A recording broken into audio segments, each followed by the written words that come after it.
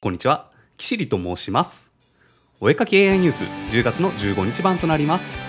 画像生成 AI などを中心に AI に関する話題をあれこれご紹介しております。今回は画像を理解する AI GPT-4V の能力はいかに？ということでそれでは行ってみましょう。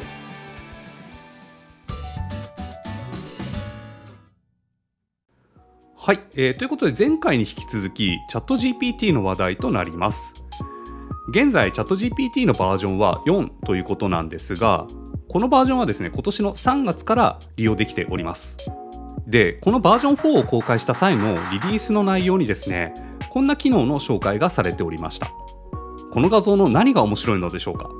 この画像のユーモアは大型の時代遅れの VGA コネクターを小型の最新のスマートフォンの充電ポートに差し込むという不条理から生まれています。はい。AI に画像を読み込ませてその内容を伝えてもらうという機能なんですよね。いやすごいなというかまあ面白さ説明させるって本当かよって思うじゃないですか。うん。といってもこの機能はねずっと使えなかったんですよ。で使えなくて試しようがなかったんですが最近この機能使えるようになったということなんで早速ね試してみたいなと思います。はいということでチャット GPT の画面ですね。でこの今青い吹き出し出てると思うんですがこれが出てるとこの機能が使えるようです。はい、まずはですね、えー、未来ちゃんを読み込ませてこの絵に描いてあるのは何ですかという質問をしてみようかなと思ってます。ほいこの絵はアニメーション風の女の子のキャラクターを描いたものです。彼女は魔女の帽子をかぶっておりその帽子には月のデザイン。あ月か。月に見えちゃうか。なるほどね。彼女の服装は短めのトップスとショートパンツ。ベルトがアクセントとしてついています。おおすげえ。また彼女の髪の色は青く。お？瞳の色も青です。背景はグレーの単色です。まあでもかなり大筋として合ってますよね。すごいね。はい。とりあえずこのキャラクターを覚えてもらいましょうか。この女性のキャラクターは未来と言います。また頭の上にある帽子はキシリと言います。ほい。了解しました。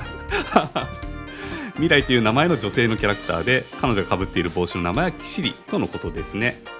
このキャラクターはオリジナルキャラクターでしょうか？それとも既存の作品からのキャラクターですか？もし何か質問や詳細な情報があれば教えていただけると幸いです。はい。はい、このキャラクターは私が作ったオリジナルキャラクターです。わかりました。素敵なオリジナルキャラクターを作成されましたね。いやいやよせやいよせやい。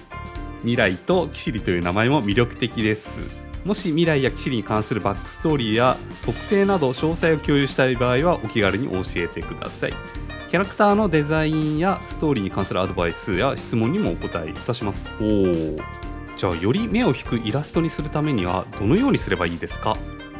ドン目を引くイラストを作成するためのいくつかのヒントテクニックを以下に示します。色コントラスト鮮やかな色や具体的なイラストや目的に合わせてアプローチを強調することが重要です。そうだよね。一般的なこと言ってるよねこれね。めちゃくちゃ言われたけどこれね多分質問の仕方が良くなかったですね。えっ、とこのイラストをって言わないとダメだね。はいこんな感じです。このイラストをより人目を引くようにするためには具体的にどのようにすればよいですか？ほい未来というキャラクターのイラストをもとにより人目を引くための具体的な提案をいくつか挙げます。おお色彩の強化キャラクターの服やアクセサリーの色をもう少し鮮やかにするかまた明るくすることでキャラクター自体を強調することああまあ確かにね全体的にね暗いからね。うんえー背景の変更。現在背景はグレーの単色ですが、えー暗い紫や青などの色に変えることでキャラクターの鮮明さをより強調することができます、うんうんまた月や星などのシンプルな要素を背景に追加すると魔法あー魔法的な雰囲気を強化できます。なるほどね。光の追加。キャラクターの周りや帽子。キシリの近くに柔らかい輝きやオーラを追加することで神秘的な雰囲気を出すことができます。ああなるほどなるほど。ポーズの変更。キャラクターのポーズをもう少しダイナミックにすることで動きや活気を感じさせることができます、はい、表情の強調キャラクターの目や口を大きくするまたは表情を変更してキャラクターの感情や性格を強、えー強調することができます。そうだね。まあまあでもこれ設定資料だからね、うん、まあこの辺はとは思うんですが、えー細部の追加キャラクターの服や帽子にさらに模様やディティールを追加することで視覚的に興味を持たせることができます。シャドウとハイライトの強調。キャラクターの体や服にもう少しシャドウやハイライトを追加することで立体感を強調することができます。あーまあ確かにねかなりシンプルな絵にしてますからね。うん、まあ、これらの提案は参考として考えてくださいということですね。はい。まあ、これはね設定資料みたいなものなんでもうちょっと違うね未来ちゃんに読み込ませようかなと思ってます。こんな感じのはどうかなと。はい。こんな感じですね。このイラストに書かれている未来ちゃんの魅力を教えてください。ほい。もちろん未来ちゃんのイラストをもとにその魅力的なポイントをいくつか挙げてみます、はい、ダイナミックなポーズ。えー未来ちゃんは活発で元気な印象を受けるポーズをとっておりその姿勢は視覚的にとても魅力的です。あー、はい。はい、明るい背景。ターコイズブルーの背景色はキャラクターをより際立たせています。背景色とのコントラストが非常に効果的です。おーいや嬉しいですね。帽子のデザイン。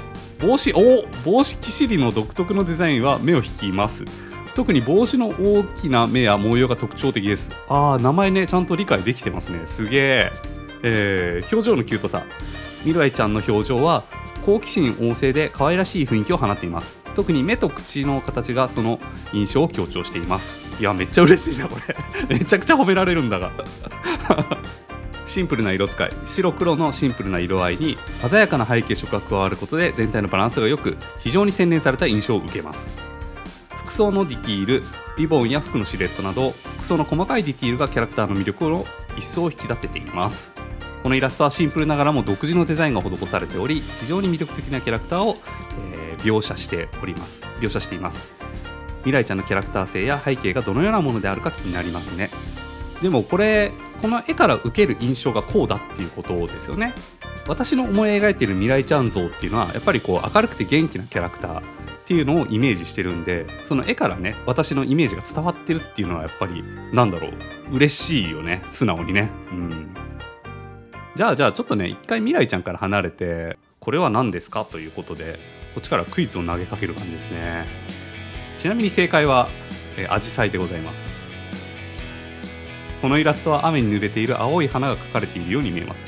具体的な花の種類についてはこの画像だけでは確定的に言うことは難しいですがデザインおおすげえ！デザインや色合いからするとアジサイのような印象を受けます。わかるんだ。面白えー、えちょっといろんな絵を読み込ませようよこれ。めっちゃ楽しいな。はいこれいきましょう、えー正解はたこ焼きですね。このイラストはたこ焼き。おおすごい。すごい。えー、たこ焼きは小さな丸い形をしておりその中にはタコの切り身が入っています。はいはいはい。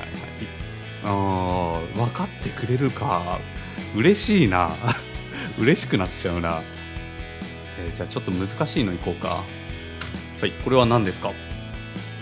さあ何でしょうか？分かりますでしょうか？わあ正解何これめっちゃ面白い。豚の角煮ですね。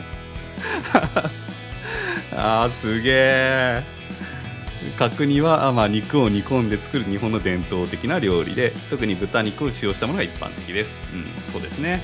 豚の角煮ですね。いや分かってもらえるね。はいじゃあこれもいきましょうか。これもう分かるでしょう絶対。分かってもらえるでしょう。どうや？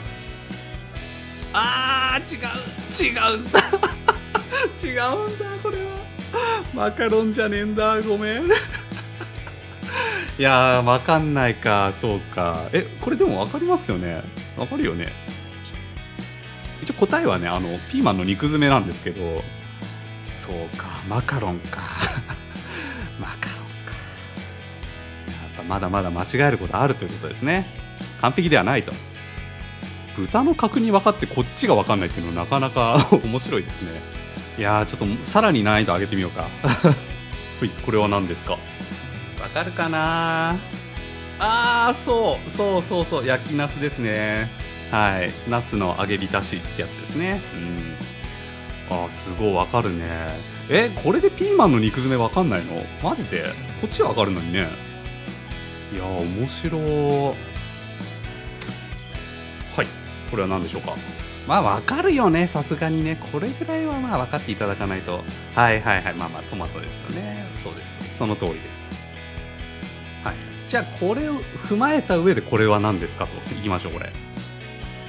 分かっていただけるかな？どうでしょう？はい。ああそうですね。トマトの木。おえ木なの？トマトって。いやまあでもそうですね。トマトで正解はトマトです。ねまあ正確に言うとミニトマトなんですけど。いやーすごいすごい。はい、えー、じゃあこれはどうかな？今年の年賀状ですかね。このイラストについて説明してください。このイラストにはアニメ風の女の子が華やかな背景の前でポーズをとっています。彼女は灰色の髪の毛と青い瞳を持っており顔にはいくつかの赤いマークや装飾があります。あ そうだね。ほっぺのぐるぐるとかこれ理解できないのかな？もしかしたらね。彼女の髪にはリボンや花の装飾がついています。はいはい、彼女は赤い着物のような上着と、えー青いスカートを着ており、和服を思わせるデザイン。おー、すごい。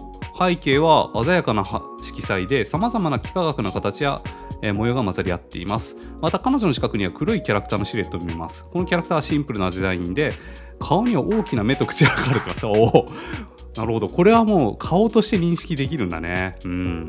全体として色はカラフルで活気に満ちておりポップな印象を受けます。そうか。でもこれだけだと年賀状としては理解できないんだね。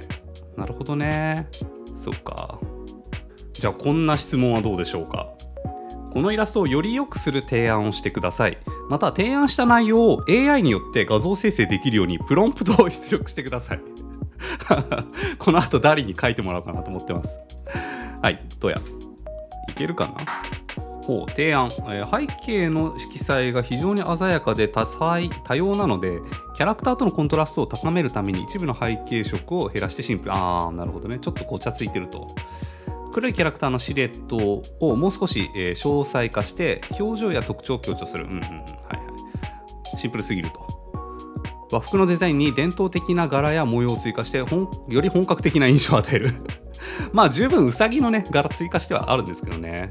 このうさぎの柄というのが多分理解できないんでしょうね、うん、プロンプト。アニメ風の女の子が華やかな背景の前でポーズを取るイラストを描画してください。女の子は灰色の髪と青い瞳を持ち顔にはいくつかの赤いマークや装飾がある、えー髪にはリボンや花の装飾があり赤い和服には伝統的な柄や模様が施されている。背景は明るい色調のシンプルな幾何学なデザインでキャラクターとのコントラストがはっきりしている。近くには詳細な表情や特徴を持つ黒いキャラクターのシルエットがある。これこれどうなんだろう？めっちゃ面白いな。気になるわ。じゃあねこれコピーして。ということでダリの方で出力してもらおうかなと思っております。はい。まあさっきのまんまですね。コピーしてきております。ほい。どうや？来る？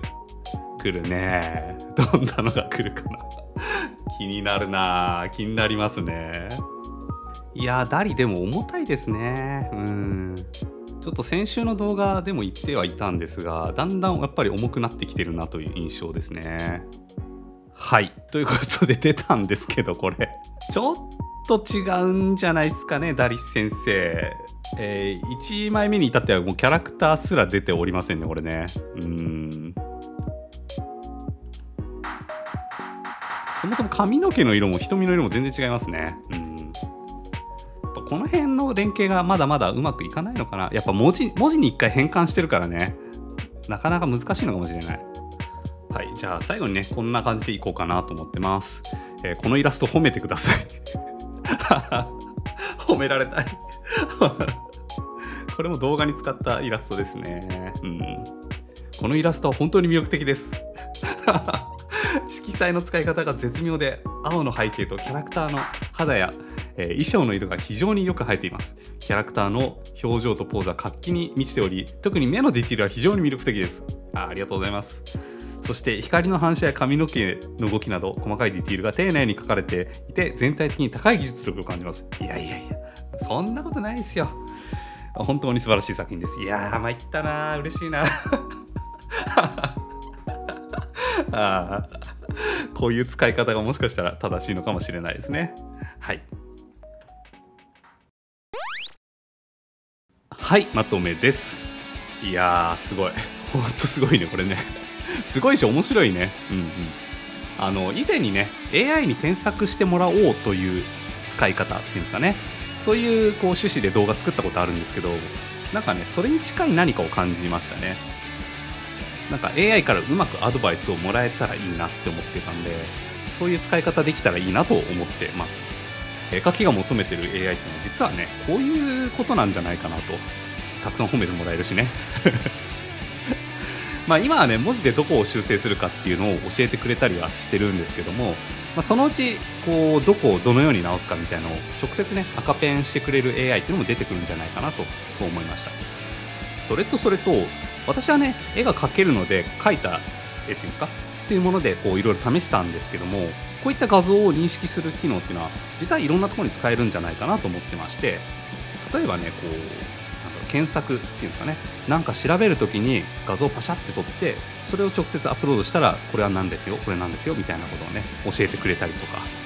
冷蔵庫の中をこう写真撮ったらおすすめの晩ご飯の献立考えてくれたりとかね。あとなんかレントゲンとかねをこう写したらその病気の早期発見ができるようになったりとか。あと乗り物のね自動運転なんかにも役立つんじゃないかなとかね。こう考えるといろいろあって楽しいなって思いました。画像の認識もね画像の生成もなんですけども道具としてやっぱ便利になっていってほしいなとあの思う次第でございます。はい。ということで今週はここまでとなります。よろしければチャンネル登録高評価のほどよろしくお願いいたします。また X もやってますのでフォローしていただけると大変嬉しいです。それではご視聴ありがとうございました。おしまいです。